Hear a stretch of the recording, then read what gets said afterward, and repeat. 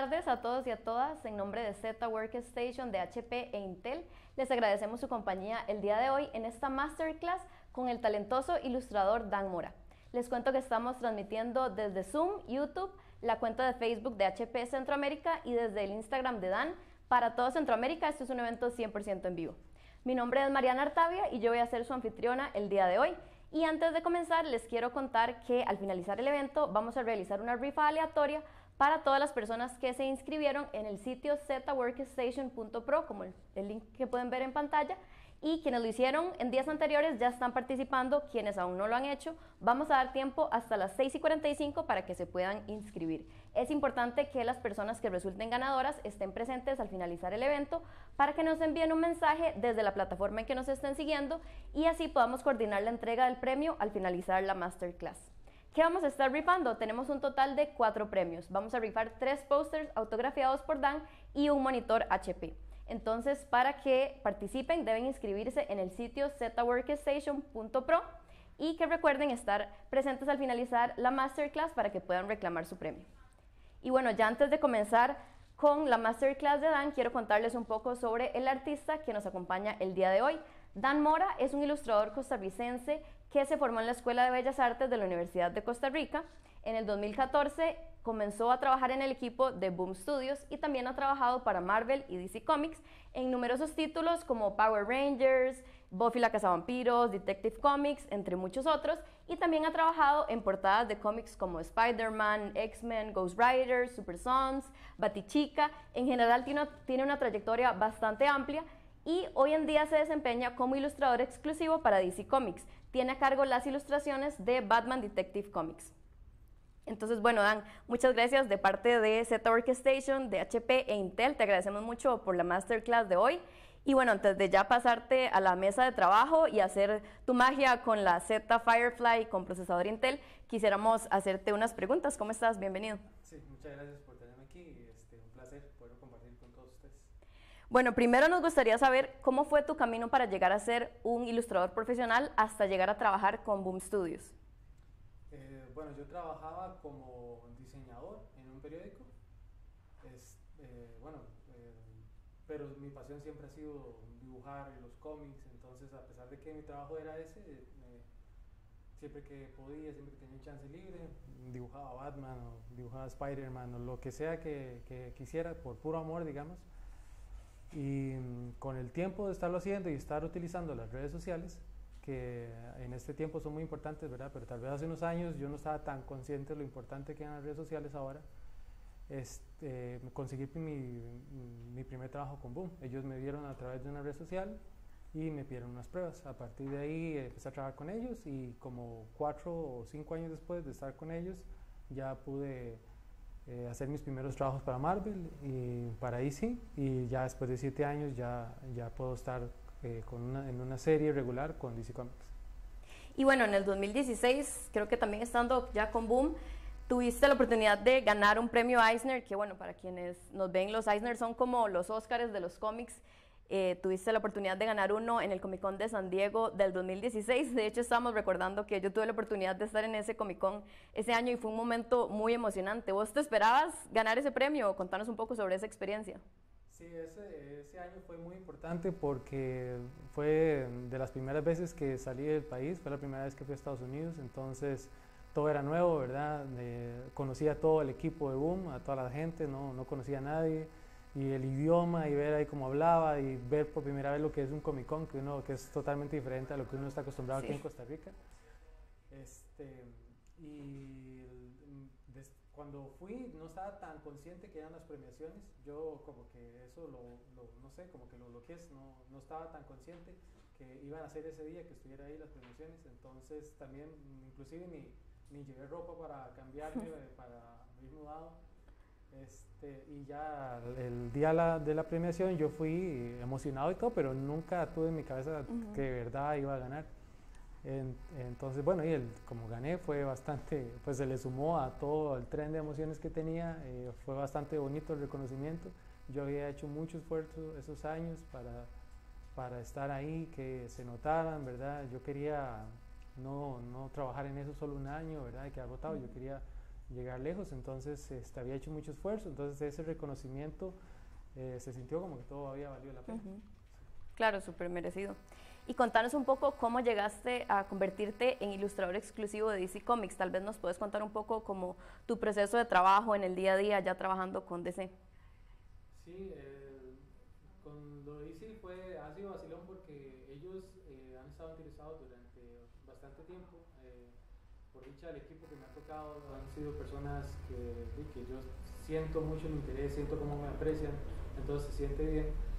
Y, pero como yo tenía, ya estaba, eh, ya estaba con otros proyectos agendados, no podía dejarlos, ¿verdad? Entonces este, hubo que esperarse un tiempo hasta que yo terminara mis proyectos y todo para poder entrar con DC y ya tener mi primer título. Bueno, lo primero que hice fueron portadas, luego tuve unas series, eh, unas historias cortas, ¿verdad? Y ya luego de eso DC eh, me dio la opción que si quería hacer Detective Comics Batman, ¿verdad? Que obviamente realmente sí yo quería.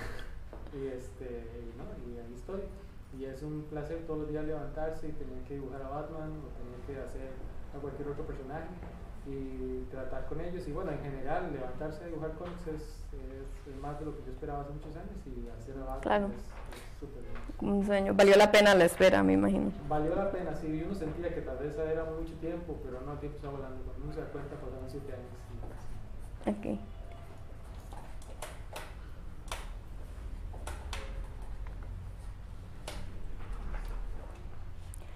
Bueno, y contanos también un poco más sobre este premio. ¿En qué categoría específica fue que habías ganado el Eisner?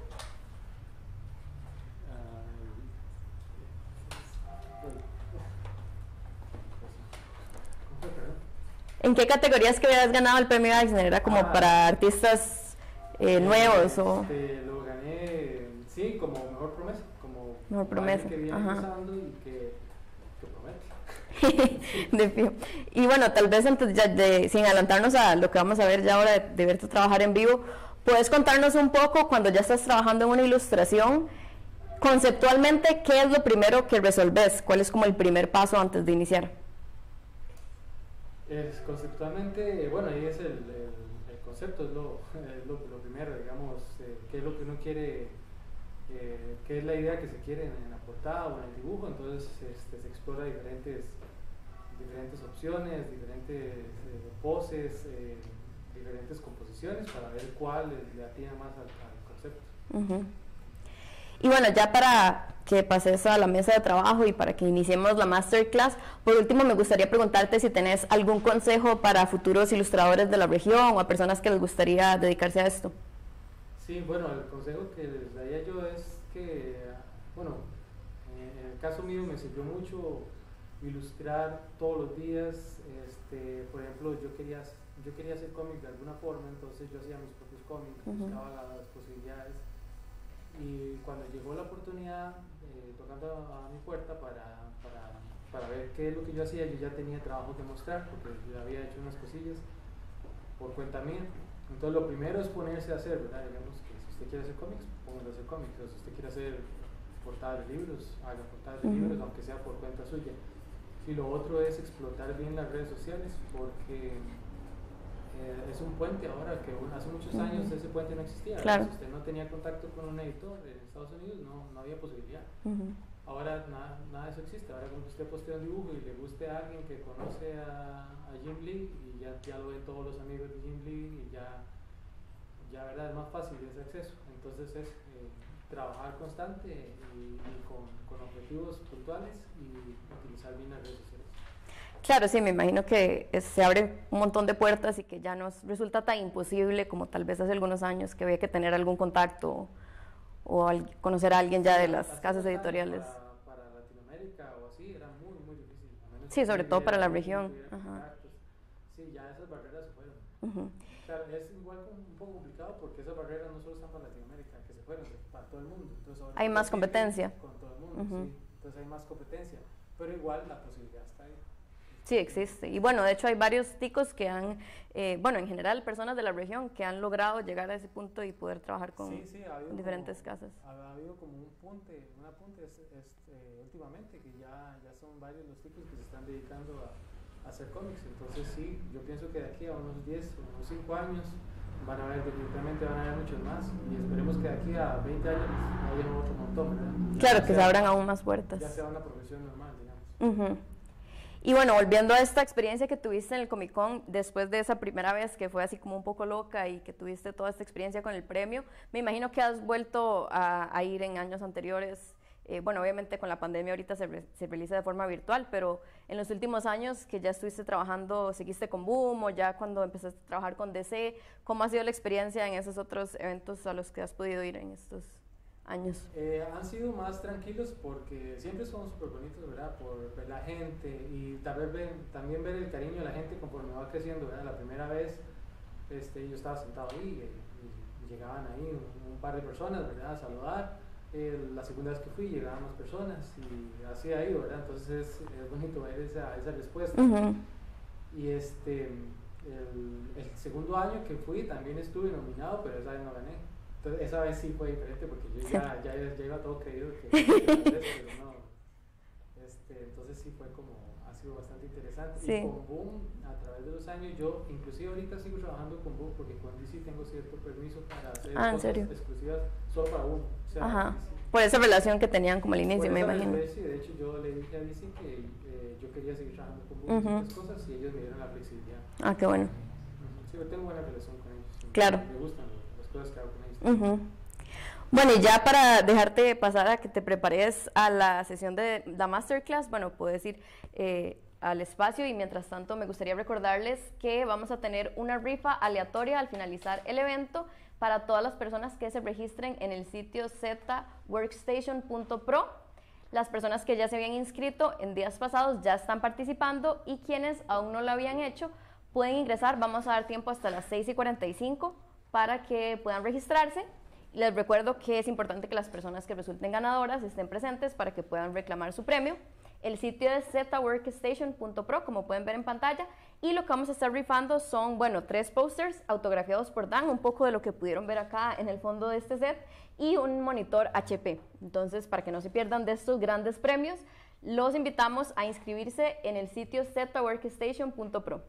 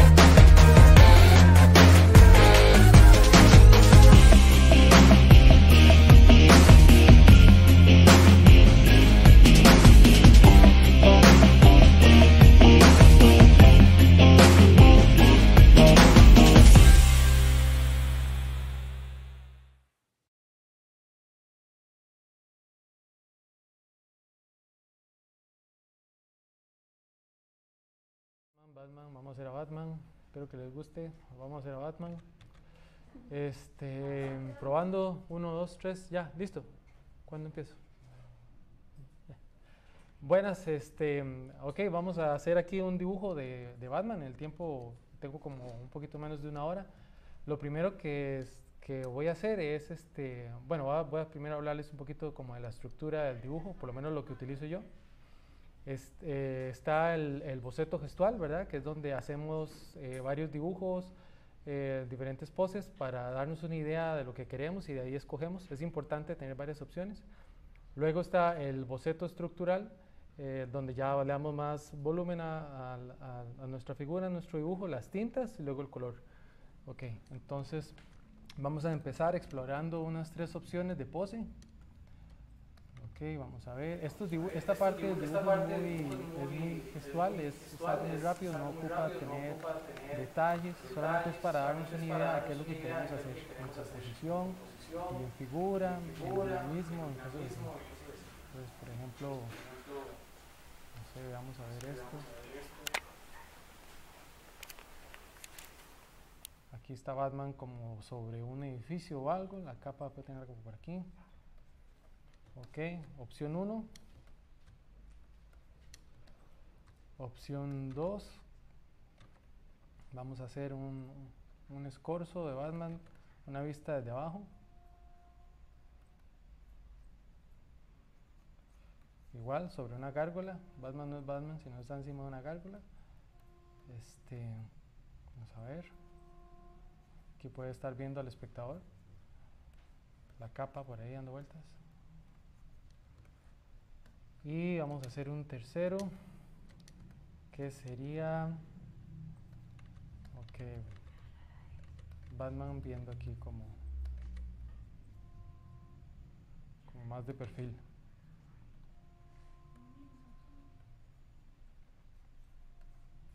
Usualmente esta parte de explorar diferentes ángulos para un personaje, como cuánto tiempo te lleva. Esto es un proceso que dependiendo de cómo esté uno, qué tan claro tenga el concepto es muy rápido, pero si uno no está familiarizado con lo que quiere hacer, digamos una idea nueva, es una idea muy compleja, se puede tardar mucho, ¿verdad?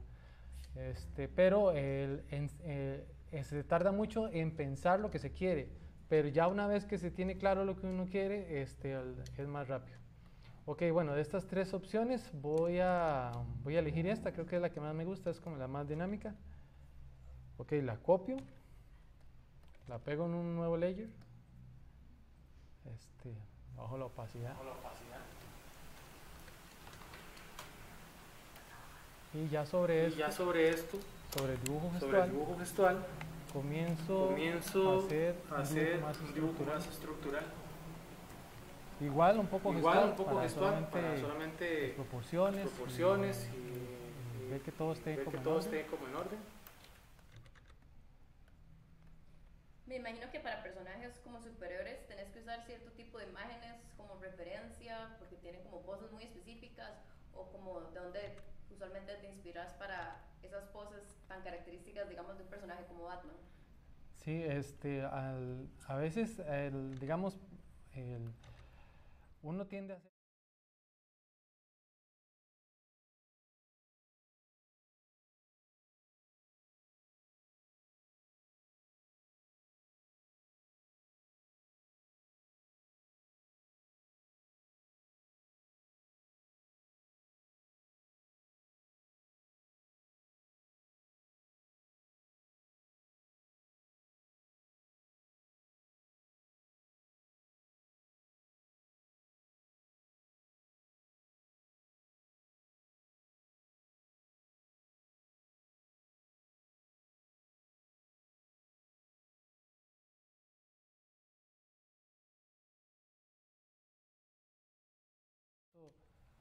Todo eso ayuda a que el cómic se sienta más real, digamos, Claro. que no se utilicen las, las mismas poses, que las calles se sientan con gente, con carros, como, como si fuera real, ¿verdad? Como real.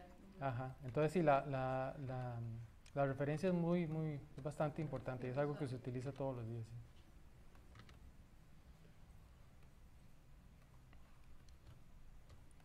Aquí voy. Lo bueno de trabajar digitalmente es que Los beneficios que tiene, bueno, es que es, es, más rápido en el sentido de que borrar es más rápido, reajustar las cosas más rápido. Por ejemplo, siento que este brazo me quedó como muy tirado para allá, entonces lo selecciono y lo muevo un poquito para acá y ya está listo, ¿verdad? En, si fuera a papel, pues sería pues, lo mismo, pero mucho más, ajá, tarda uno más volviéndolo a dibujar y todo. Entonces eso es uno de los beneficios de hacer las cosas digitales, cuando hay poco tiempo, cuando uno tiene que sacar las cosas más rápido. Bueno, y la anatomía también eso es una parte eh, complicada, ¿verdad? Porque este, ya y son tantas poses y tantas cosas que uno ocupa más o menos tener una idea de, de cómo se comportan los músculos y hacia dónde van y las, Sí, las proporciones. Ajá, Y además de desarrollar su propia anatomía un poco, porque bueno, en el caso mío que yo dibujo una mezcla entre realista y. y estilizado, yo he llegado a un punto donde, donde tengo mi, eh, ¿verdad? Intento tener mi anatomía. Un estilo propio, claro. Ajá, entonces hay músculos que no los conozco, pero entonces no los pongo. Ajá. Este, o, o, no sé, diferentes situaciones, ¿verdad? Que, que son cosas que uno tiene que ir aprendiendo y decidiendo qué meter y qué no. Porque otra cosa que pasa es que, digamos, si uno se va mucho por la anatomía o lo realista, termina, sí, se le van, se le van eh, tres horas haciendo un brazo, un brazo metiendo todos los músculos Claro. y eso tampoco, ¿verdad? Este, quita tiempo y, es- y hace que el, el dibujo se vuelva más pesado, ¿verdad? Ujú. Sí, eso es mucho del estilo de cada artista, me imagino, porque hay Sí. artistas que tienen como cierta anatomía específica que ya se vuelve parte de su, de su estilo. Sí, sí, sí, exactamente.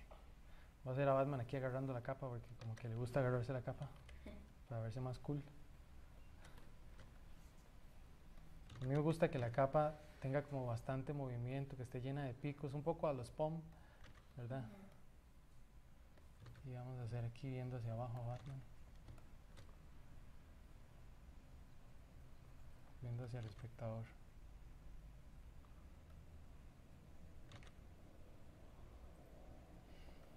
Ok. Bueno, ahí está más o menos. aquí está la gárgola.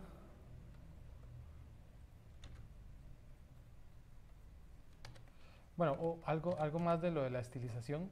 Para poder estilizar los músculos y la figura hay que, hay que conocer primero la anatomía para luego hacer las estilizaciones, ¿verdad? Porque hacer estilizaciones sin saber de anatomía este, tampoco sirve mucho. Hay que, hay que estudiar, hay que, para poder hacer después las estilizaciones. Ok. Ok, ahí está el brazo.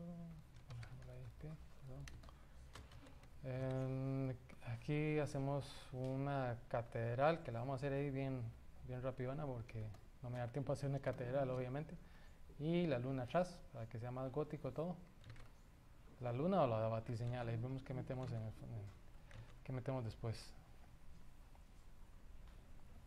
Ok, bueno, ya está. Apagamos el, el boceto rápido, que es lo que tenemos de fondo. Y ahora a este dibujo, que ya es más detallado. Bueno, me faltó, importante, me hizo falta aquí la- el, la- el bati- batilogo. Aquí vamos a, a entrar ya con, con la otra fase, que son las tintas. En las tintas, lo primero que hago yo es, bueno, contornearlo, ¿verdad? Y en el contorno se aplica algo que es este, la calidad de línea, que es para que se sienta más el volumen. Conforme esté más adelante o más atrás, las figuras son más, eh, los contornos son más oscuros. Eso es algo que, digamos, se hace consciente al principio, pero siempre hay que retocar al final, porque al final cuando uno ve el dibujo como un todo, es cuando va viendo qué, qué- a qué zona le hace falta un poco de negro, dónde hay poco contraste para que se sienta la profundidad. Entonces, vamos a ver. ¿Y qué tan acabado suele ser, digamos, el boceto que usas cuando ya llevas a la parte de, de entintado? ¿Te apegas mucho al boceto o hay partes que puede que cambien ya en la parte de las tintas? Yo casi no me apego mucho, o sea, es un boceto muy, muy gestual, eso ya es algo del estilo de cada artista. El- en el caso mío yo no le dedico mucho tiempo a, a los lápices, me gusta dedicarle más tiempo a las tintas, Ujú. pero eso, es un, eso ya es un proceso diferente de cada persona. Claro, Ujú. sí, en ilustración de cómics creo que es una de las partes más importantes, la parte de la tinta. Incluso muchos artistas Sí, solo, tienen casi que su estilo con base en el estilo que tienen en, en la parte del tintado. Sí, hay muchos artistas que solo hacen las tintas, y las, digo, los, los Ujú. lápices, y los lápices son súper detallados, Claro. ¿verdad? Para que el intintador sepa bien Sí, exactamente. incluso hay personas que ocupan, o sea, diferentes personas ocupan el rol de lápiz final, entintado, colorista. Ajá, ajá. En el caso mío, yo siento como que, como le, que le entro más a las tintas que al lápiz. tintas, claro. Ajá, entonces sí, porque me pasa que tal vez le hago mucho detalle al lápiz y luego cuando estoy entintando le paso por encima los detalles. Claro. Entonces digo, no, pues que para qué, ¿verdad? Para mejor, mejor le entro a, de una vez en las tintas. Y sí, en esta parte de entintado, como cuáles artistas tenés como de referencia o cuáles artistas admirás.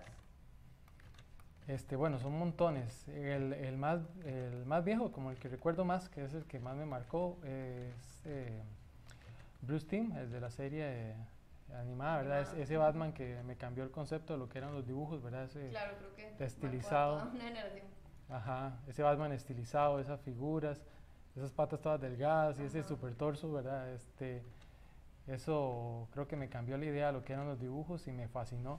Hasta el día de hoy es el artista que siempre sigo buscando y, ¿verdad? Y, Claro, sí. Sí, entonces creo que es el principal y este, bueno, hay un montón de artistas que lo que pasa con los artistas es que uno tiene como enamoramientos, ¿verdad? Le gusta Sí, mucho por, por- como por etapas. Ajá, le gusta mucho uno porque hace algo, por ejemplo, me encanta Sean Murphy, como hace el claroscuro y todo. Este Capulo me, me encanta cómo, cómo trabaja. Y bueno, y un sinfín más de artistas que, que hacen muy buen trabajo, que uno lo que intenta es como, como agarrar volados y ver cómo los aplica a lo que uno hace, ¿verdad? Ujú. Entonces sí, son, son, son demasiados. Y lo bonito es que en esa, en esa exploración y en, en esa investigación de estar viendo otros artistas, que lo, cómo lo resuelven y todo, poco a poco uno va este, re- eh, buscando sus propias eh, soluciones. Sí, su propio estilo. Ajá, ajá. Es el- uno comienza viendo cómo lo hace el otro y todo, y, y conforme va pasando el tiempo va, va desarrollando sus, sus propias sus propias técnicas, sus, sus propias este, estilizaciones, sí. No hace malo echar un poquito para atrás de vez en cuando para ver que todo vaya bien. A veces pasa que uno se sumerge mucho, por ejemplo aquí, Claro, se mete Claro, sí. mucho en este músculo y le hacen músculo y músculo, y está precioso el músculo, pero cuando se aleja, ¿verdad? Este, tal vez está demasiado desproporcionado o, o ni, se, ni se nota. Entonces usted le dedicó media hora al músculo que no, que no ocupaba. Entonces sí es importante de vez en cuando estar alejando la, la, la perspectiva. la perspectiva, sí. Vamos a hacerlo en calzoncillos para que sea como más clásico. ¿Qué tanta libertad hay en los trajes ya cuando trabajas ahora en DC? eh, O en general el estilo, porque cada persona que ha dibujado Batman o en general los personajes de DC tiene su propio estilo. ¿Qué tanto se puede experimentar o qué tantos lineamientos tienen que seguir con respecto al, al traje o en general el aspecto? Sí, es que esa es una pregunta interesante. Cuando yo entré, yo decía, bueno, que esto va a ser súper complicado. Probablemente las, por ejemplo, la faja de Batman, ¿verdad? Que, que tal vez yo decía, no, no, voy a meterle algo extra ahí, porque, Ajá. porque ¿cómo va a andar tanto chunche en la faja? Entonces me gusta ponerle que se le vea aquí colgando el, el mecate, ¿verdad? O que se Ajá. le vea las bombas aquí guindando, o que se le vea la pistola con la que se agarra, ¿verdad? Ajá. Son, son detalles que a mí me gustan porque di, todo eso lo anda en el cinturón, pero ahí no se le nota, ¿verdad? Entonces, Ajá. son cosas que cuando empecé a trabajar se las empecé a agregar y yo estaba esperando que DC me dijera, no, es que el Ajá, cinturón de. Batman no es así, ¿verdad? El cinturón de Batman o, o, ¿verdad? o cual- cualquier otro detalle. Y vieras que no, hay como mucha libertad. Este. Sí, como de que uno explore su, su propia visión de lo que es Batman o lo que es cualquier otro personaje. Entonces, en ese sentido, ha sido bastante di, ameno, porque yo, yo puedo darle a, a la- a la persona que está leyendo, puedo darle de verdad mi visión de Batman. ¿verdad? Algo diferente. Algo diferente. Sí, bueno, obviamente, Sí, bueno, obviamente. Claro. cosa, pero, cualquier cosa, pero, pero sí, es, pero es- sí, es es, una libertad, es una libertad bastante bastante interesante. interesante. Me encantaría un día poder un diseñar día un traje. diseñarle ¿verdad? un traje. Eso sería- Ah, bueno, es- esto es un detalle importantísimo. Darle vuelta al dibujo. Porque, este, o bueno, se puede utilizar un espejo si uno tiene, si está dibujando eh, manual, ¿verdad? Ujú. Porque cuando uno le da vuelta al dibujo se ven como un montón de cosas y errores que, que uno normalmente pasa por alto, ¿verdad? Sí, ver un poco las proporciones y Ajá, ajá. se vea igual de bien Sí, sí. reflejado. A veces lo que me pasaba a mí cuando estaba más jovencillo es que, que me quedaba tal vez que yo lo veía muy bien el dibujo y cuando le daba vuelta resultaba que tenía un ojo caído y el otro muy arriba, ¿verdad? Son cosas que, que pasan. Entonces, para estar evitando que eso pase, uno le da vuelta al dibujo y va viendo cómo se ve todo. Ok, sí, me gusta cómo va y, y sigue trabajando. Ujú. Las manos es un detalle, ¿verdad? Las manos son algo súper complicado. A mí todavía me cuesta mucho hacer las manos. En su mayoría de veces este, eh, uso referencia para que me queden bien, ¿verdad? Porque una mano así muy mal hecha, sí, hasta que me da, me da, me da vergüenza. me- entonces casi siempre intento tomar referencias, este, ya sea mi mano, o la mano de un muñeco o lo que sea, para que se sienta bien, ¿verdad? Aquí lo estoy haciendo ahí a- ya, lo que me acuerdo. Pero sí es importante, que- importante que, que- que verifiquemos y que no estamos seguros, no tengamos miedo de tengamos utilizar miedo de referencias, eh, ¿verdad? Porque es importante para que el dibujo se sienta sólido, se sienta creíble. O por ejemplo un movimiento, alguna expresión, ¿verdad? Este, no hacer la, la pose típica que uno cree que es de caricatura. Pasa mucho cuando se hace un dibujo corriendo, ¿verdad? Se hace, por ejemplo, el brazo aquí corriendo, ¿verdad? Y este otro pie va también para adelante y el de atrás Ujú. y acá, ¿verdad? Cuando en verdad es al revés, ¿verdad? Es este pie, el, eh, el derecho va con el izquierdo, ¿verdad? Y bueno, y no solo esa pose, hay muchas de corriendo, pero a veces pasa que uno, cuando tiene que hacer un dibujo de estos, hace la, la idea que tiene en la cabeza, que generalmente la idea que uno tiene en la cabeza, la primera, es, son, son, ajá, es- Son, ajá, estereotipos de dibujo, ¿verdad? Que, que hay que irse quitando. Entonces, para eso sí son demasiado las referencias, para ir viendo cómo se comportan en, real, en realidad las cosas. Acá tenemos algunas preguntas del público. Este, quieren, bueno, les gustaría saber, creo que ya esto lo comentaste un poco, pero si para DC haces solo la parte de lápices o también la parte de tintas y color, creo que más bien trabajas todo, desde los lápices, la tinta y el color. No, trabajo para DC, este, trabajo solamente los lápices y Los tintas. Ajá, tengo, Y alguien más colorizo. ajá, tengo una excelente colorista que es ella la que me ayuda. Yo ahí hablo con ella, le doy mi punto de vista lo que yo creo que debería hacer y ella después este, eh, hace su interpretación, ¿verdad? Claro. Ujú. ¿Y todo lo haces en ¿Todo digital? lo haces en digital o a veces en tintas de forma tradicional? Lo, eh, Lo es como, por es ejemplo, como, por de un ejemplo, tal cómic, de un cómic, puedo sacar unas puedo cuatro sacar páginas, cuatro páginas manuales y el resto son digitales. Ok. Sí, por, por una cuestión de tiempo y que, este, pesar de que el dibujar es más rápido, ¿verdad? El, el, el hecho de hacerlo manual es, es también bonito tener una página, ¿verdad? Que sea, sea Batman, la hizo manual y tenerla ahí, ¿verdad? Ujú, claro. Entonces, este, sí, yo intento hacerlo lo que puedo manualmente, pero se va digital porque si no no me da tiempo. Sí, claro. También nos preguntan que cuál es el brush que usas para el line art, para la parte de las líneas. Yo utilizo eh, el programa, eh, en este programa utilizo la, este- esta brocha de acá, que es este, ¿dónde está? Que es el lápiz normal. Lo que hago es que en, en las características le doy el círculo simple y le pongo un poco de ruido, ¿verdad? Full. Y entonces si, si lo acercamos vemos que, que el lápiz tiene un poquito de ruido. Eso es este, para que se vea como más, más sucio, ¿verdad? A mí me Ujú. gusta que el dibujo se vea un poquito más sucio, que no se vea tan limpio. Sí, más como un boceto. Ajá, ajá. Y bueno, otra pregunta que tenemos que varios deben tener en casa es cuál es el programa que estás usando y en general el programa que usas. Eh, pues cada eso depende mucho también del estilo de cada artista, cada uno utiliza el programa en que se siente más cómodo, pero si nos puedes contar un poco sobre este programa que estás usando y cómo sentís que se desempeña en este equipo del Z Workstation. Sí, el- yo uso un programa muy, muy humilde, se llama Paint Toolsai. eh, no es un programa que tenga demasiadas opciones, ¿verdad? Hay versiones nuevas que tienen más opciones, pero yo me quedé con esta y, y estoy cómodo, entonces me cuesta mucho moverme. Entonces, ya, es muy sencillo. Hay, ahora hay programas que tienen muchas más herramientas que le ayudan a uno con, con más cosas, ¿verdad? Con, con puntos de fuga y diferentes. Entonces, pero bueno, en el caso mío uso el más sencillo. también a veces uso este, me gusta usarlo que sea sencillo porque a veces siento que tal vez uno se puede confiar demasiado de las herramientas de- digitales Y se le olvida un poco hacer, hacer resolver ciertas cosas, ¿verdad? Entonces, este, me gusta, ya que lo estoy haciendo digital, mantener un poco el, reto y,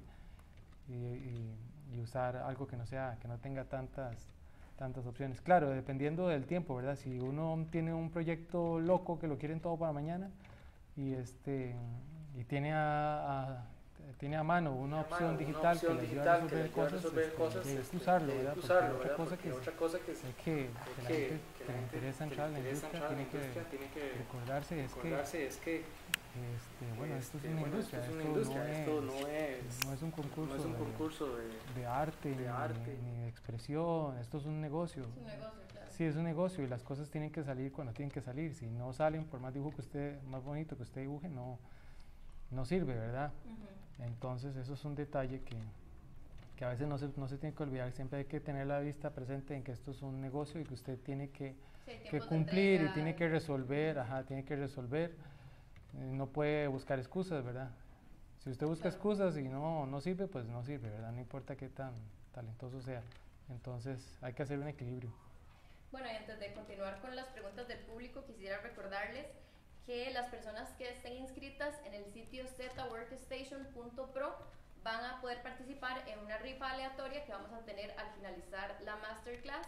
Vamos a estar rifando tres pósters autografiados por Dan y un monitor HP. Entonces recuerden que para participar deben inscribirse. Quienes ya lo hicieron en días anteriores ya están participando. Y los que aún no lo han hecho, vamos a dar tiempo hasta las 6 y 45, ya casi, para que puedan registrarse. Entonces recuerden quedarse hasta el final de la transmisión para que si resultan ganadores nos puedan enviar un mensaje y coordinar la entrega del premio. Otra pregunta que teníamos, que bueno, eso lo mencionamos un poco, pero tal vez podrías hablar un poco de tu experiencia eh, académica. Eh, hablábamos de que estudiaste Bellas Artes en la Universidad de Costa Rica, porque alguien nos preguntaba qué, qué carrera específica era la que habías estudiado. Ajá. ¿Sentís que con esa formación eh, pues te lograste desempeñarte en el área profesional eh, y ya pasar la parte de los cómics o en general cómo fue tu formación académica? Sí. Bueno, lo primero, primero que voy a hacer es guardar, porque a veces pasa que uno no guarda, Eso ¿verdad? es muy importante. sí. Sí, y verdad, el- en el- en el- por dicha, con esta computadora que tengo, eso no me pasa, ¿verdad? Porque, porque la, tiene buen este, procesador, entonces no se pega. Pero es mejor evitar, ¿verdad? Siempre estar guardando, porque eso es un detallazo que a veces se le va a uno. Recuerdo una vez, hace muchos Sí. años, que se me estaba trabajando, ya tenía la página lista y no había guardado ni una sola vez, y se fue la luz. Bueno, eso es otra, si se va la luz, ¿verdad? Y tal vez usted, bueno, bueno, en el caso de la portátil no pero no le tiene una batería y lo que, ¿verdad? Se pierde todo. Sí, creo que todos los que trabajamos en estas áreas nos ha es pasado. algo que nos ha pasado. Sí, da, da cólera, pero bueno, la segunda vez queda más bonito. El- ah, bueno, el, sí, yo estudié Bellas Artes. Siento que Bellas Artes me ayudó bastante porque ahí aprendí di, todo lo básico que sé ahorita. Eh, la perspectiva, anatomía. Sin, sin, no- yo no hubiera entrado a Bellas Artes, probablemente, no digo que no hubiera podido, pero hubiera tardado más, porque sí es, este, es mucha la, la- la información y lo que uno aprende y la experiencia, ¿verdad? De, de los compañeros, ver otros dibujantes todo eso. Claro. Pero, sin embargo, este, si me hubiera quedado solo con la universidad, tampoco, lo, tampoco Claro. hubiera entrado. Es una mezcla entre, entre eh, autodidacta y la universidad, ¿verdad? Tal vez si la universidad hubiera tenido carrera como cómic, hubiera sido diferente, ¿verdad? Pero en Bellas Artes eso no, eso no existe. Sí, Y sí. Y no sé ahora, pero cuando yo estaba, usted hacía cómic y era súper mal visto, era, ¿verdad? Ujú. Super polazo. El- bueno, el- el, eh, ya acabé, bueno, ahí le metí una sombra en la nariz, pero esta es la parte de el- la calidad de línea, ¿verdad? Probablemente conforme vaya a- adelantando el dibujo, este, voy a ir eh, agregándole negros a ciertas partes que considero que deberían resaltar más, pero por el momento, esta es como la primera parte, mira, me faltan los piquitos, este, ahora voy a, a agregarle un poco de, de- de contraste. Voy a, a- a agregar sombras, para eso voy a usar este, tramas y otras técnicas, ¿verdad? Entonces, y bueno, en este caso ya usamos otras brochas, ¿verdad? Aquí uso una, uso brochas como que me puedan ayudar a hacer este, los efectos que quiero.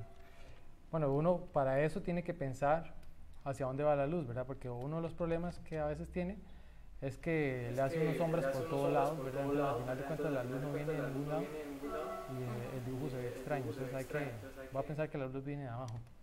Bueno, otra cosa que hago yo para, para aquí, para, para enseñarles, este, a mí me gusta ir color y no dejar el proceso del color hasta el final. Por ejemplo, aquí, ya que tengo esta figura lista, este, vamos a ver, ya que tengo esta figura lista, la selecciono, ajá, la selecciono, la selecciono, la, perdón, la selecciono. Y le pongo una plasta de color que me ayuda como a irme dando una idea de cómo se va viendo. Porque, ah, bueno, aunque parezca mentiras, yo eh, si no le pongo color, si no pongo plastas antes de, que, de que esté, eh, ¿verdad? Antes de empezar con el, si no lo pinto yo, por ejemplo, lo que me pasa es que eh, después me doy cuenta que le pude haber agregado más cosas que no me gustan, entonces para yo resolver eso, le agrego plastas y así me, me hago una mejor idea de cómo, de cómo resolverlo. Voy a agregarle un, un shortcut aquí para que sea más rápido. Además, es más, si, uno tiene las formas seleccionadas, ¿verdad? Ya una por una es más fácil seleccionar y, y hacer los dibujos, ¿verdad? Aquí leyendo algunos de los comentarios también que nos llegan de, los, de las personas que nos están siguiendo. Eh, bueno, alguien te comenta que eso es una inspiración para los ilustradores. Este, también alguien le gustaría saber eh, cuántos años tenías cuando ingresaste a DC y también cómo fue tu reacción cuando te dijeron que, iban, que ibas a poder trabajar, bueno, con DC y a mí también me gustaría saber con Batman porque sé que era como un sueño para vos poder finalmente trabajar con ese personaje en específico. Entonces, si nos puedes contar un poco de esa experiencia, hace cuántos años fue que empezaste con DC y ya cuando entraste a trabajar con Batman. Sí, lo, de DC es bastante, eh, bastante nuevo. este año fue que empecé a hacer Batman. Y, pero bueno, cosas, eh, detalles que empezaba a hacer, portadas, cosillas, como tal vez hace unos tres años, tengo 35, entonces como a los 30 y algo de años empecé con, con DC. Y con Boom empecé cuando tenía 25 años por ahí, más o menos. Estaba pollito. Entonces sí, y bueno, cuando me dijeron, DC me dio la opción, me preguntó que si quería hacer Detective Comics, ¿verdad? Hasta que me... Sí, sí, es como, obviamente yo quería hacer Detective Comics. Entonces fue, fue demasiada la alegría. Yo intenté mantenerme cool con DC, ¿verdad? Decirle como, sí, sí, claro, es algo que me gustaría, ¿verdad? Pero por dentro, está, por dentro estaba pegando brincos, ¿verdad? Este, entonces sí fue bastante emotivo, ¿verdad? Poner, dibujar un personaje. Y de hecho yo, yo pensaba que, que si tenía suerte algún día lo... O sea, yo era positivo que algún día lo iba a dibujar y si tenía suerte, tal vez cuando estuviera más viejo, ¿verdad? Cuando estuviera más grande, que en algún momento, sí, sí. Jamás de la vida me imaginé que, que, iba a llegar, o sea, que iba a tener la oportunidad de, este, contribuir a este personaje tan, tan, tan joven, sinceramente. Pero sí, sí, pues, estoy muy agradecido con DC y con todas las personas que, que me apoyan, porque gracias a ese apoyo es que me imagino que DC lo, lo contempló. Y este, pero sí, fue bastante eh, sí, creo que también ha sido muy bien recibido por el público en general. Eh, sí, por dicha. Sí, sí, por dicha sí, yo también creo que les ha gustado y, de paso les agradezco a todos y todas las que... Aquí nos hacen también un par de preguntas, tal vez un poquillo más técnicas.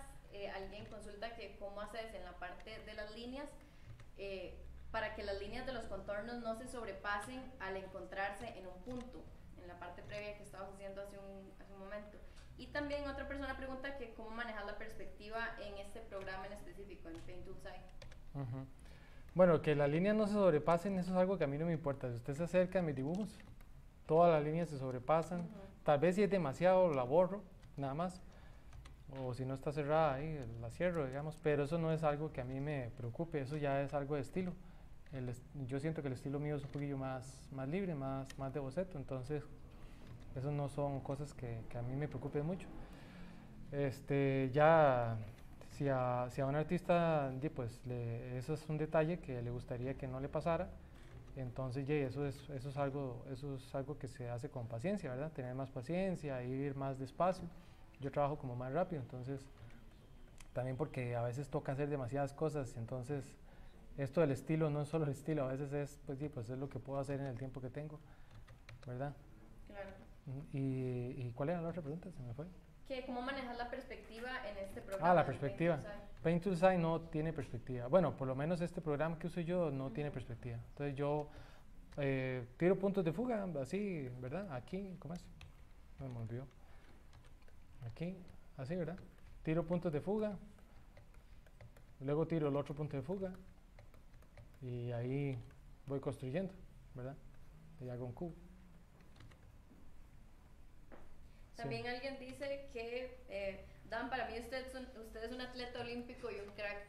Creo que eso refleja mucho también como la, la- el orgullo que siente pues, las personas de, del país y en general de la región, como de ver ya a alguien trabajando, pues, como dicen en las grandes ligas, creo que se siente como bastante orgullo, para, sobre todo para las personas fans de, de los cómics y de... Sí, no, yo se los agradezco mucho, sinceramente. Y, es- y sí, yo, yo a la vez también entiendo que es, que es algo importante porque si cuando yo estaba en la universidad hubiese habido eh, eh, hubiese un tico que, que dibujaba para DC o para Marvel, yo seguro me hubiera vuelto loco, seguro. Claro. Sí, sí, seguro me hubiera llamado por teléfono, eh, ¿verdad? Este, yo sé que es, es, es importante porque eso es el sueño de muchas personas. Ujú. Y son sueños que a veces uno cree que no, que nunca van a pasar. Entonces, ver que, que otra persona de su país lo hizo, pues motiva. Y, y yo me alegro mucho que eso sea, que eso sea mi contribución, digamos, que, que motive a otros artistas, porque fijo, dentro de, de un par de años más van a haber un montón más de artistas talentosos que van a estar trabajando en la industria. Eso no tengo ningún, ninguna duda. Había otra pregunta que quería hacerte, si en algún momento has- te has sentido como desilusionado o desmotivado con respecto a tu profesión o tu carrera y cómo has resuelto eso, algún momento que no hayas encontrado como la inspiración Ujú, ujú. y cómo has resuelto es- eso. Sí, bueno, eso es, eso es una muy buena pregunta porque eso es algo que pasa todo el tiempo, ¿verdad? No que uno esté agüevado de dibujar cómics, aunque sí pasa a veces, que es un, es, lo que pasa es que tiene mucha presión, ¿verdad? Entonces, si usted a veces se compromete con un proyecto y, y el proyecto está muy difícil y no se midió con el tiempo y tiene que hacer sacrificios y trabajar fines de semana y trabajar hasta la noche y levantarse a las 5 de la mañana y acost- acostarse a las 10 de la noche, Claro. son cosas que a veces hay que hacer, entonces es difícil, ¿verdad? Eh, pero bueno, eso se maneja con, con siendo constante, ¿verdad? Teniendo actitud, ¿verdad? Sabiendo que usted se comprometió y que hace, va a hacer todo lo posible, ¿verdad? Dejar la, la fiesta y las salidas a un lado para lo que es este, mucho trabajo, pero hasta la parte emocional Ujú. que también afecta mucho, ¿verdad? Que, que tal vez un día que uno siente que a mí me pasa los lunes, todos los lunes son terribles, todos los lunes todo me queda feo, todo, todo es... Pero bueno, y hay que Como hacerlo. agarrar el ritmo tal vez. Sí, sí, sí, porque los lunes vengo a estar ahí con mi familia, tranquilo, Claro. ¿verdad? Entonces, al final de cuentas pues es un trabajo muy entretenido y que fijo, disfrutas mucho, pero al final de cuentas igual es un trabajo. sí, es un trabajo muy, muy demandante, ¿verdad? Un- de- un- usted en su trabajo, no sé, cuando yo estaba en La Nación, que en el periódico, que era muy, era, a veces era muy movido, a veces no tanto, y, pero s- sonaba, bueno, el timbre no, pero sonaba, ya llegaba la hora de salida y, y se acabó, ya usted se iba para su casa y no pensaba más en el trabajo. Aquí usted tiene que tener objetivos al día, ¿verdad? Y si no los cumple, tiene que saber que pone en riesgo que salga el, el libro. Y no, Claro. solo, no solo pone en riesgo usted, pone en riesgo a sus editores, al colorista, o sea... usted- Sí, a las personas que dependen de su Ajá, trabajo. de hagas. un montón, una industria que depende del trabajo de uno. Entonces sí, hay que... Y bueno, también pasa, digamos, que si uno no, no está inspirado, ¿verdad? Entre comillas, y no sabe qué hacer, lo único que queda es ponerse a hacer. Si uno se queda esperando que llegue la inspiración, a veces nunca llega y se le fue el día y nunca llegó la inspiración. Entonces, lo, lo mejor es ponerse a hacer. Si usted puede, ponga, ponga música, si eso le ayuda, ponga una serie de televisión ahí de fondo, que si eso le ayuda. A mí, en el caso mío, me ayuda a ver, ver fábulas, ¿verdad? Pero no, eso no significa que yo estoy, estoy desinspirado. Veo una fábula y ya me inspiré claro. inmediatamente, ¿verdad? Entonces, este... Trabajando así en digital, ¿cuántas páginas o tintas terminas en un día o cuáles son como los objetivos que sueles tener o depende mucho como de las páginas en específico que tengas para De- cada día? depende de, de qué, de qué tan, tan, tan apretado esté de, de trabajo, digamos, pero lo normal es este lo normal es una página al día. Si, si Ok. yo hago una página y media al día, está todo bien. hago una página y media al día y adelanto un poquito alguna portada, algún trabajo que tenga ahí.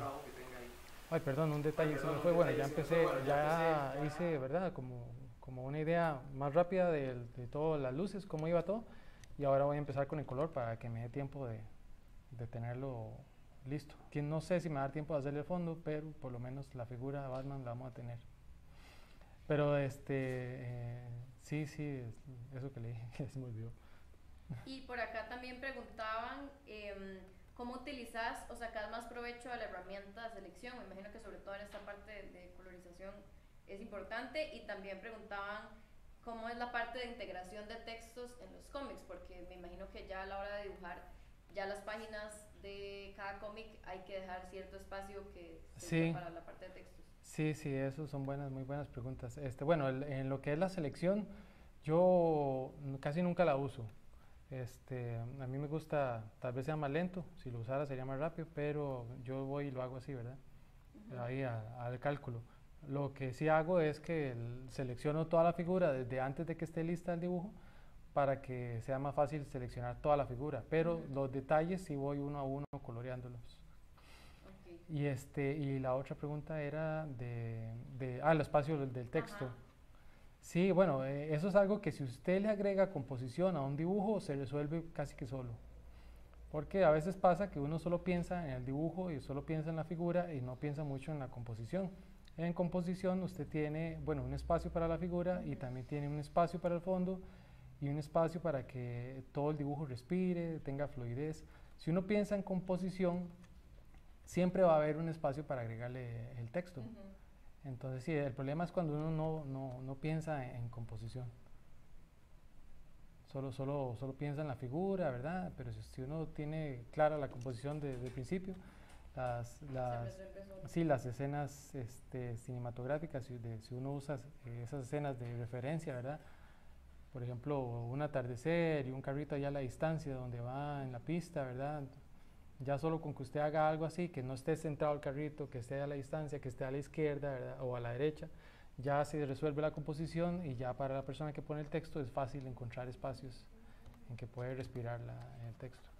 Y básicamente las personas que incluyen el texto son las que deciden en qué espacio les funciona. Hay de las dos formas, en el caso mío ellos deciden, pero yo he visto que hay artistas que eh, hacen los, los globos donde ellos creen que deberían ir. Sí, en el caso mío yo no me he metido mucho a ese, a ese, a ese mundo porque siento que, que no soy tan bueno, que para eso hay gente que es mejor en eso, entonces yo dejo nada más los espacios ahí.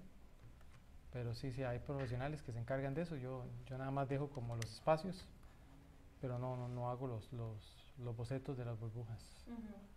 Aquí hay otra interesante que dice que cómo regulas el zoom o los acercamientos para no sobredetallar un punto en específico, que creo que es lo que hablabas ahora de cada cierto tiempo estar alejándose para ver un poco la perspectiva, sobre todo en la parte de, bueno, en la parte de ambientación y en la parte de colorización.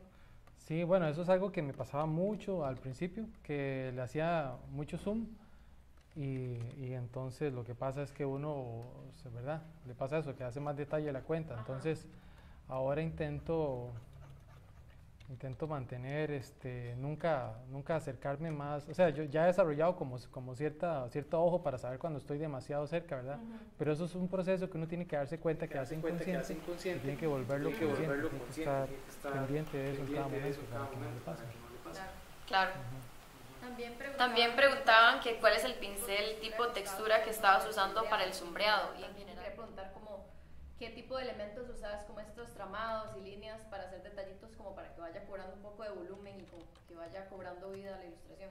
Sí, este, bueno, la, uso la tecla V que me da con el brush y en eso, ese brush me da varias, vamos a ver, aquí, me tira varias líneas juntas, que aquí yo le agrego un poquito de ruido, le puedo quitar ruido para que sea más. Entonces con eso, muy, muy ligeramente, en algunas partes se lo voy agregando, como ahí.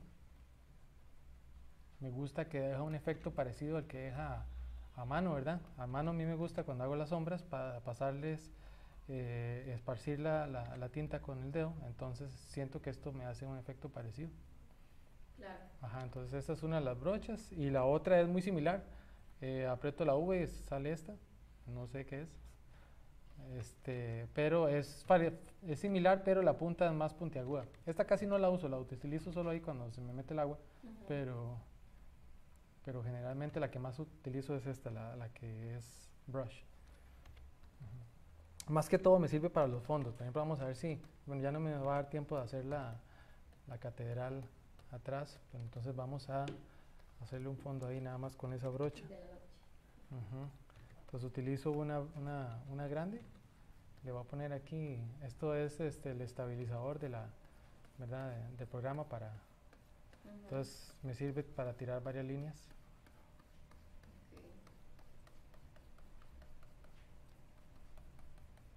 No me importa que no esté en completo orden, que a veces choquen, eso es algo que a mí no me molesta, entonces a veces chocan. Ujú. Bueno, tal vez me dé tiempo de hacer aquí como una silueta de más o menos por dónde iría la catedral. Nos comentan que, bueno, alguien dice que cuando sea grande quiere ser como vos, que sos una gran inspiración para todo Costa Rica. Y también alguien comentó que parece mentira cómo se transforma el dibujo en algo nítido y fino y poco a poco va cobrando vida. Yo también quería preguntar para algo como Batman, que es, tipo, suele ser este cómic y este personaje súper oscuro, ciudad gótica, todo es muy sombrío. ¿Suele haber como una paleta de color definida o en general cómo experimentas con este tipo de escenarios que suelen ser bastante oscuros, pero que a la vez también tienen colores muy vibrantes, como el amarillo, en general tienen como colores muy llamativos. Sí, a mí me gusta utilizar mucho los colores rojos con Batman y, Ujú. ¿verdad? Básicamente los que veía en la serie animada de cuando estaba chiquitillo. Es- eso es como el, el tono que... Para mí Batman es eso, la serie animada. Entonces yo lo que intento es, es imitar eh, todo lo que veía ahí. Ujú. Este, pero y en el caso de, con cada colorista es una interpretación nueva, entonces uno siempre tiene que estar abierto a que el colorista lo va a hacer de una forma diferente, ¿verdad? ¿verdad? Tal vez no exactamente lo que usted tiene en la cabeza. Pero sí, sí, para mí es, es eso. Para mí Batman es eh, Bruce Timm y la serie animada de los 90. Sí, creo que es una referencia para muchas personas. Ajá. Además de Batman, ya una Batman, vez, ya una vez que, que llegaste hasta acá, ¿hay algún otro personaje que todavía tenés así como una lista o que tenés como todavía el sueño de poder, o algún cómic o alguna saga en específico? dibujar? Sí, claro, este, Spider-Man es el que tengo que algún día poder hacer algo, porque me encanta, es, es Batman y Spider-Man son mis personajes favoritos. Y bueno, hay otro montón, ¿verdad? Me encanta Wolverine y, y este, Punisher, un montón, pero los principales son Batman y Spider-Man, entonces sí, sí, algún día. Bueno, espero- sí, esperamos, yo creo que, muy probablemente sí, yo creo que pasaría en algún momento. Ay, yo espero que sí, yo espero, sí, sí, Dios lo oiga que sí. La verdad antes me daba mucho miedo soñar porque eh, uno tiene miedo a, a- a defraudarse, ¿verdad? Entonces ahora conforme han llegado las cosas, y cada vez como que uno se le va quitando un poquito más el, el miedo a soñar y, y ya se atreve a, a pensar en cosas más en grande, ¿verdad? Claro.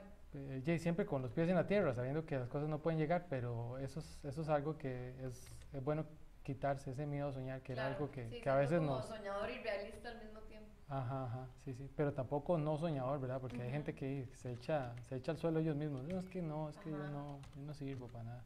¿Verdad? Eso tampoco. Pero sí, no, no hay que tener miedo a soñar. A ver, digamos, es el proceso de las tintas y el, y el color y todo, tal vez otros artistas estén diciendo que es de molote, ¿verdad? Pero a mí eso es algo que a mí me gusta hacer al mismo tiempo. Porque, por ejemplo, estos detalles que estoy agregando son detalles que ya yo ya había brincado, ya no los, Ajá. ya no los iba a hacer en esa etapa. Pero siempre, son, son, son siempre cosas que, revis- que, que voy revisitando, ¿verdad? Bueno, ok, yo Claro. creo que aquí le falta.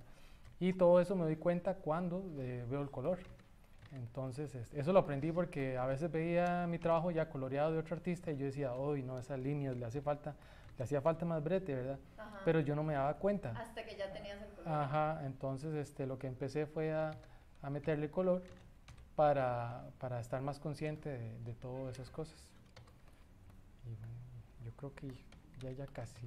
O sea, ya están como los colores.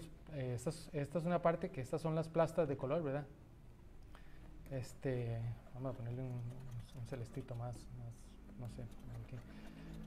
Eh, estas son las plastas de color, que son los colores planos, como uno va. Ya después uno puede empezar a darle más armonía o, empezar a jugar con los colores. No sé qué, no sé qué tono de gris meterle ahí. Bueno, al final quedó igual que al principio. Voy a, a cambiarle el fondo. Vamos a ver qué color le puedo meter. No, demasiado. No sé si dejarlo gris. Esa es una parte que a veces uno puede tardar mucho, ¿verdad? Decidiendo qué, qué hace. Es importante que el fondo no, no, no, no quite atención de la figura, ¿verdad? El contraste es muy, muy importante. Entonces, por ejemplo, aquí se me está perdiendo un poco el contraste Ujú. en la cabeza de Batman. Entonces lo que voy a hacer es borrar un poco para que la figura, el eh, la figura siempre sea algo nítido, siempre sea algo claro. Sí, que destaca. Eso es importante, sí, sí. O sea, por ejemplo, meterle muchos negros aquí atrás donde está la capa y donde Sí, está la cabeza, se pierde la figura. Esos son detalles que son importantes ir, ir cuidando. Sí, entonces voy a bajarle un poquito nada más para que eso, que usted, si usted entrecierra los ojos y todo, ¿verdad? Que pues pueda seguir viendo la figura de Batman y los cachos, sobre todo los cachos, ¿verdad? Hay otra pregunta que hacen con respecto al equipo. ¿Cómo son los tiempos de renderizado y de procesamiento con este equipo, con la Z Firefly de, de HP? Si se nota mucho la diferencia con otros equipos. Y bueno, también se podría mencionar un poco que, que pues es un equipo bastante portable. Entonces creo que es algo que se podría destacar también. Sí, bueno, el- la- yo tenía una computadora que se me pegaba, ¿verdad? Porque no, no había suficiente memoria o la línea se ponía lenta. En este caso, ni nada de eso pasa, ¿verdad? O sea, yo puedo trabajar tranquilo, sin miedo que se me vaya a cerrar, o, o, ¿verdad? Con todo, con todo eso. Y lo otro bueno que tiene es que como es este, portátil, este, puedo, puedo jalarla y, y llevarme mi tableta, ¿verdad? Mi otra tableta, esta no está muy grande, una más pequeña, y, y- y puedo trabajar en otros lados, puedo trabajar si, si me quiero ir de paseo o si me quiero ir a visitar a mi mamá, o, ¿verdad? Puedo utilizarla, entonces sí tiene bastantes beneficios.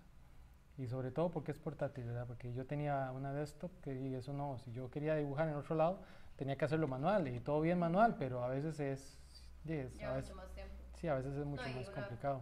De escritorio jamás se podría transportar tan fácilmente. Sí, Y en general, pues este programa lo corre bastante bien, pero creo que otros programas de diseño y de ilustración, las personas que usan Photoshop, las personas que trabajan en video y tienen que renderizar, creo que igualmente corre bastante bien y tiene buenos tiempos de renderizado. sí, sí, sí, bastante bien. Y ahora voy con la última parte del color. Por ejemplo, este es el color muerto, ¿verdad? Que puse. Vamos a darle un multiply con algún tono. Vamos a probar diferentes cosas. Por ejemplo, bueno, si la luz fuera así, o si tuviera una luz más rojiza, o una luz más bañada en azul. Yo creo que en azul hace un buen contraste con el rojo. Pero bueno, esto es una parte que hay que, que, hay que explorar bastante. No Debe sé- ser una parte muy entretenida, me imagino, porque es ya como ir dándole un look más definido. Sí, sí, es una parte, a mí me gusta, a mí me Sí. gusta mucho colorear. Seguro si no me gustara tal vez no, no, no me pondría en estas, pero sí, a mí me gusta mucho colorear, entonces, pero bueno, es, también viene el detalle, ¿eh? que unos, a veces se le puede ir mucho rato en buscar el color. Claro. No sé, voy a dejarlo amarillo, voy a dejarlo amarillo, tal vez con un poquito de opacidad. Esto es importante porque hay, eh, o a veces uno pone los colores y todos están en diferente sintonía, ¿verdad? El, el azul está muy azul y el gris está muy gris y el amarillo está, ¿verdad? Es importante que los colores tengan cierta armonía, entonces yo logro esa armonía bañándole un tono parejo Ujú. a todos los colores. Entonces ya todos, el, el azul, el gris y eh, todos los que quiero resaltar me, me quedan Todos tienen como esa capa. me, me quedan todos teñidos de un poco amarillo, lo que hace que se vea mejor. Y aquí le voy a agregar así rápidamente lo que es unas sombras. Acá. bueno, aquí viene otra vez. Toda el- la parte, ya toda la parte de iluminación y sombras. ajá, ajá. Y bueno, antes de terminar, aquí también nos preguntaban que, bueno, habíamos hablado bastante sobre Batman, pero un trabajo muy importante que tuviste fue el de los Power Rangers.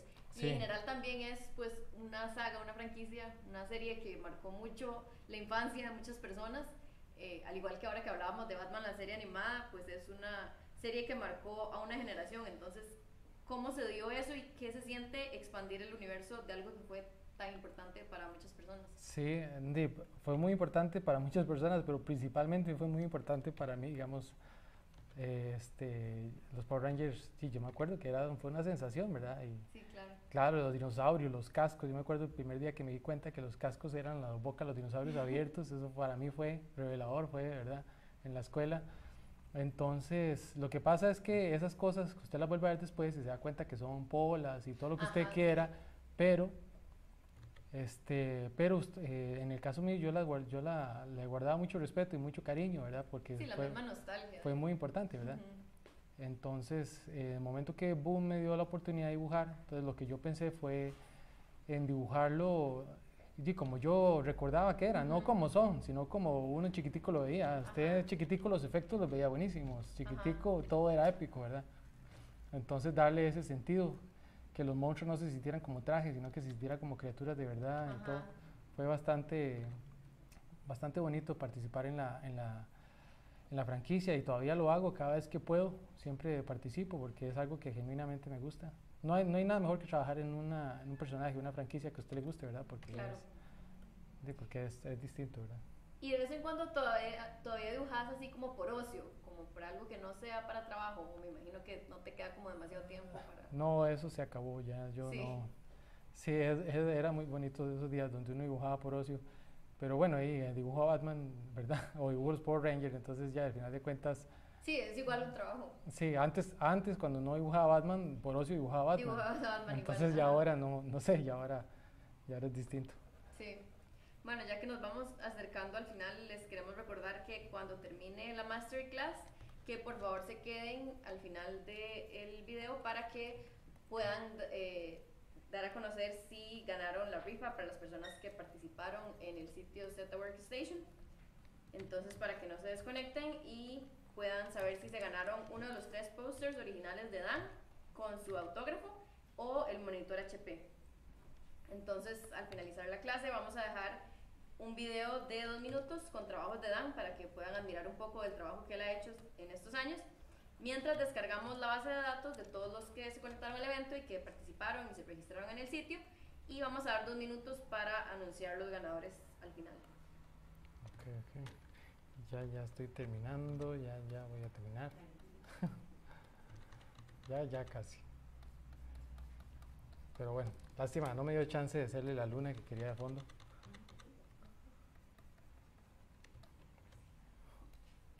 Vamos a ver. Pero bueno, yo creo que me dio más chance de lo que tenía planeado. Yo creí que, iba a ser un poquito más No, y de verdad sí es impresionante ver cómo el dibujo va cobrando vida y cómo va pasando del boceto que veíamos al inicio a este dibujo pues tan lleno de detalles en realidad para hacer tan poquito tiempo. Sí, es sí, sí. impresionante, verlo, impresionante verlo así como en vivo. Sí, sí, que bueno, y por dicho tuve suerte me bien, ¿verdad? Porque no siempre pasa. No siempre pasa. A veces, Bueno, ya la, bueno, ya la a veces uno experiencia tiene que le queda rarísimo y bueno, y sí es más de seguir, ¿verdad? Pero bueno, en este caso me quedó bien, por dicha.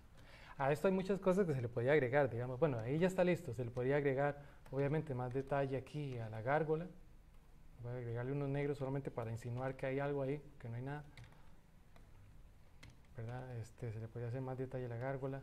Aquí se le puede agregar, pues, diferentes tipos de trama. Si algo como Batman me imagino que tiene la ventaja de que se puede jugar mucho con esas sombras.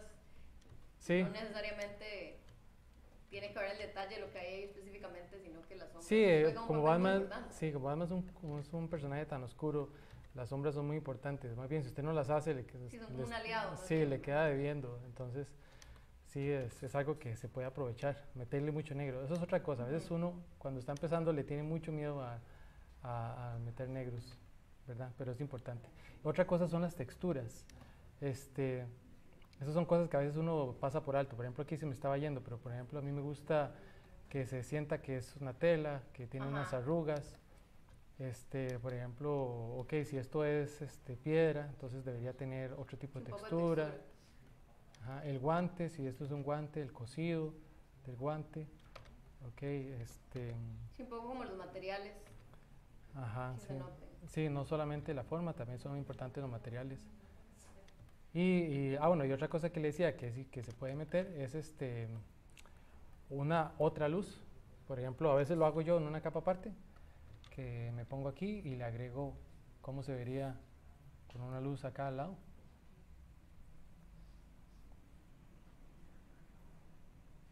Si me gusta, entonces ya lo empiezo a trabajar con más detalle. En este caso sí creo que se ve bien. Entonces son detalles que uno puede ir agregándole. En esto le caigo encima al color, le caigo encima a las tintas.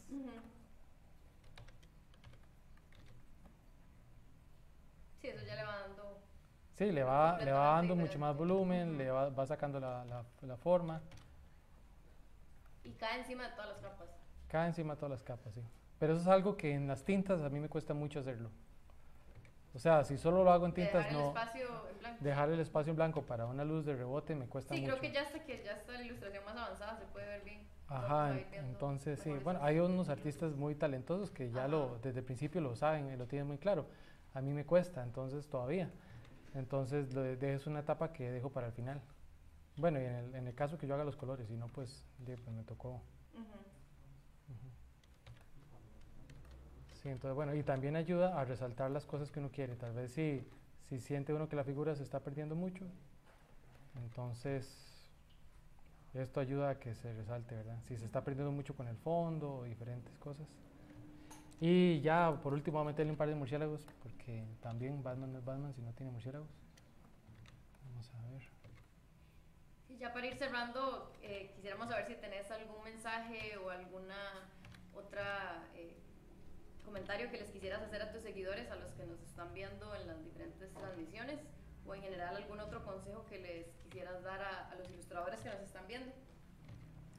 Sí, bueno, lo- el- creo que lo principal es este, estar muy consciente de sus sueños y, y buscarlos, ¿verdad? Porque a veces uno solo tiene sueños y no hace nada para alcanzarlos. Eso está, si no tiene un cómic, pues hágase uno e, e invéntelo, ¿verdad? Ponerse a trabajar y, el- y- y utilizar inteligentemente las redes sociales, usar todo lo que esté a su favor para, para darse a conocer. ¿verdad? Ya sea que usted quiera dedicarse a hacer eh, storyboard o si quiere hacer diseños de personaje o concept art o diferentes, ¿verdad? Hay muchas, muchas ramas, no solo está el dibujo, eh, el cómic, perdón. Entonces sí, este, creo que es estar consciente y utilizar bien las herramientas para, para llegar ahí, ¿verdad? Yo sí creo que eso es lo primero. Y listo, y ya le agrego aquí la última y, ya, y lo voy a firmar. Importante. sí, porque al final sí, sí, sí me gustó, a pesar de que está hecho así tan rápido, está bonito. Ese se puede rifar también. 2021. Ahí está. Y aquí la, la- la pierna se pierde. Ya. Listo. Excelente. Bueno, Dan, muchísimas gracias de verdad por haber aceptado la invitación de Z Workstation de HP en alianza con Intel. Muchas gracias por compartir tu talento con nosotros el día de hoy. Y bueno, ya para dar cierre a la sesión, vamos a realizar la rifa de los tres pósters autografiados por Dan y del monitor HP. Les recuerdo que esta premiación es exclusiva para, para espectadores del evento que estén en Centroamérica y las personas que resulten ganadoras, por favor envíennos un mensaje en el chat de la plataforma por la que están siguiendo el evento.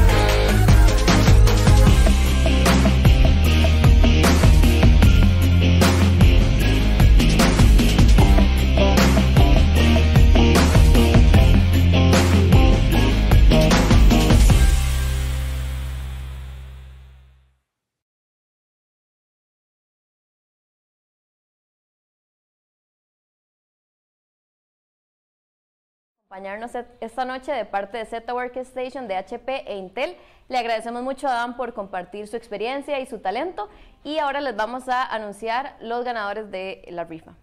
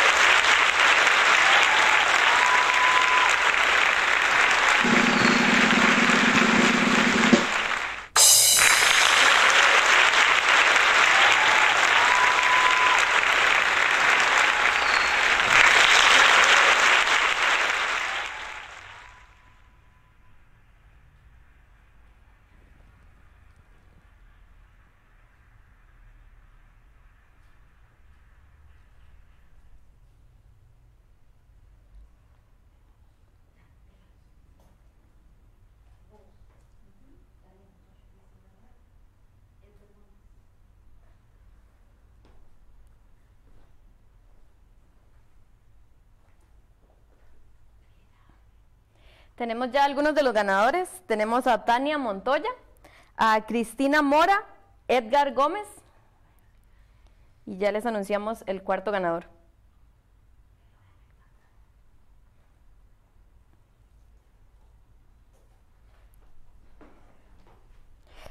Y el último ganador es Mauricio Poveda. Son Tania Montoya, Cristina Mora, Edgar Gómez y Mauricio Poveda. Entonces, por favor, estas personas nos pueden escribir un mensaje privado en el chat desde la plataforma en que nos están viendo.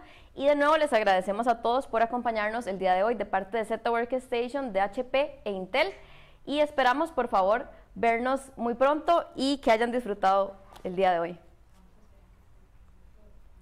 Vamos a esperar para que las personas nos contacten, todavía no vamos a cortar la transmisión, pero de nuevo les agradecemos mucho por acompañarnos y esperamos que hayan aprendido y disfrutado del talento del ilustrador Dan Mora.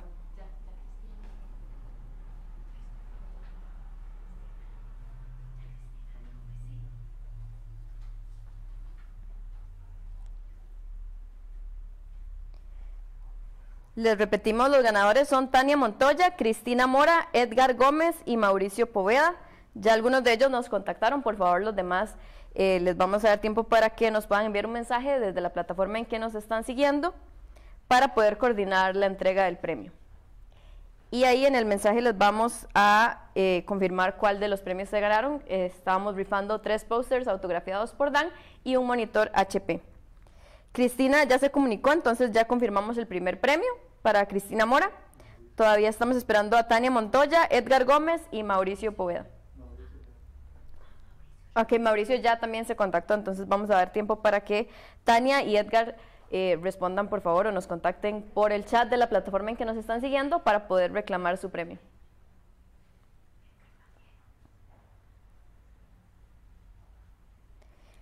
También ya se comunicó Edgar Gómez, solamente estamos esperando a Tania Montoya para que por favor nos envíe un mensaje desde la plataforma en que nos sigue. Estamos en Zoom, YouTube, Facebook y el Instagram de Dan, entonces por favor que nos envíen un mensaje desde la plataforma. Tania Montoya sería la que faltaría para eh, poder confirmar a estos cuatro ganadores de los premios que estamos rifando el día de hoy.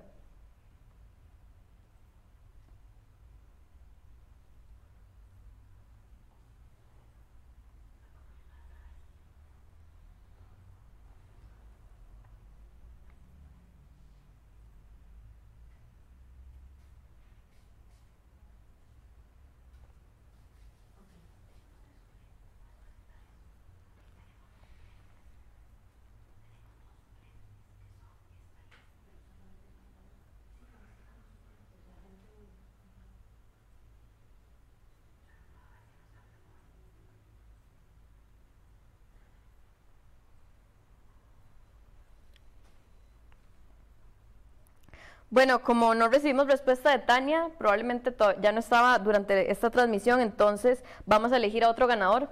Los que se quedaron hasta este momento todavía tienen oportunidad de ganar uno de los premios que estamos rifando el día de hoy. Entonces vamos a dar un momento nada más para realizar de nuevo esa rifa y les comunicaremos cuál es el siguiente ganador o ganadora el día de hoy.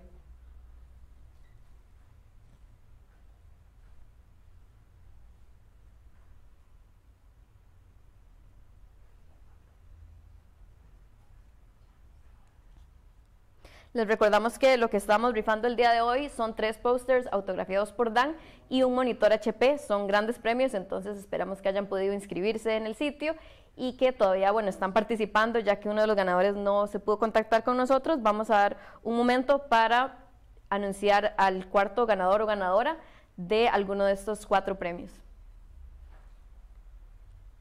Daniel Solano es el nuevo ganador.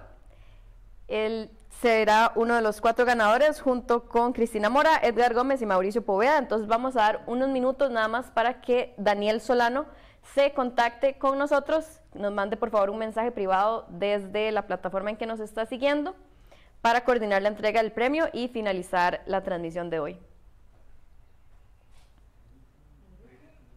Entonces, que por favor Daniel Solano nos contacte para validar su premio. Si se encuentra todavía en la transmisión, esperamos que sí.